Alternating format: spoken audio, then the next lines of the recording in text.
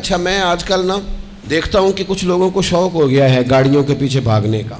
मेरे साथ अगर चार लोग गाड़ी में होते हैं तो वो चारों अलग अलग गवाही दे सकते हैं कि जब गाड़ी के दाएँ बाएँ सिक्योरिटी वाले लोग जाते हैं तो मैं उनको ना शीशा नीचे उतार के मिन्नत करता हूँ कि मुझे ज़रूरत नहीं है तुम्हारी। लेकिन वो अजीब सा शौक़ है कि दायरा बना के गाड़ी के गिर्द चलना है। कोई है ही नहीं, कोई ऐसा मसला ही नहीं। सियासी लोगों में क्या दीनी लोगों के अंदर भी सलाहियत कर आया? गाड़ियों के पीछे भागना और जनाब दौड़ाना और उसका मज़ा लेना और उसका शौक़ ज़ाहिर करना, ये ठीक नहीं है। इन चीज़ों से लोगों को तकलीफ़ होती है। ये आजमाइश है। और सियासी लोग, वो तो मजमे दिखाने होते हैं। वो तो दूसरों को दिखाना होता है कि ज़रा देखो जी, लोगों की मोहब्बत देखो जी, लोगों की। फिर वो खबर देते हैं कि देखो जी, ये आदमी बैसाखियों पे चल के आया जलसे में। इतना मकबूल लीडर है। अज़ीज़ दोस्तों, ये जो लुत्फ लोगों ने बना लिया है, ये तकल्लुफ़ है, ये शिद्दत है। ये सारे लोग अल्लाह की मखलूक हैं।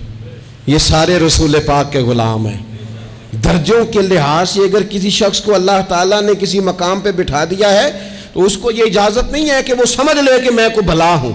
वो नबी पाक के उस नूर को पेश नज़र रखे। हज़रत साद बिन उबादा रदी अल्लाह तु बयान करते हैं कि एक मरतबा नबी पाक सल्लल्लाहु अलैहि हमारे यहाँ तशरीफ़ लाए।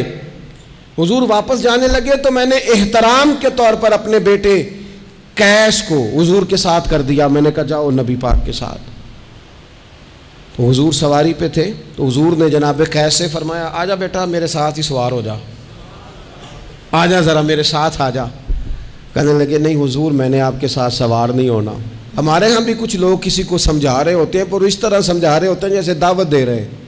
जी, मैं इस काबिल नहीं, जी, मैं तो बड़ा छोटा आदमी हूँ, जी, मैं। ओ भाई, आप दावत दे रहे हैं कि ज़रा और करो मेरे साथ। ये दावत दे रहे हैं, किसी ने अगर किसी को मना करना है तो उसका लहजा बताता है कि ये पसंद नहीं कर रहा इस चीज़ को। हज़रत साद बिन उबादा के साहबजादे जनाब कैस बिन साद रदी अल्लाह तु कहते हैं, मैं हजूर के साथ था, महबूब ने फरमाया, मेरे साथ बैठ जाओ सवारी पे।